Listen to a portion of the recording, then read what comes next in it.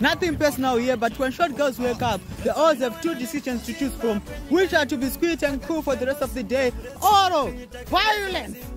Violence out of everything. Why?